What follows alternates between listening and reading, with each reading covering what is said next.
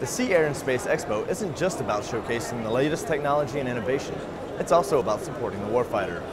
Attendees received a first-hand demonstration of how service dogs comfort each and every person they come into contact with. So Warrior Canine Connection breeds, trains, and places service animals with uh, service members and veterans who are suffering from uh, mobility issues or for whatever reason need a service animal.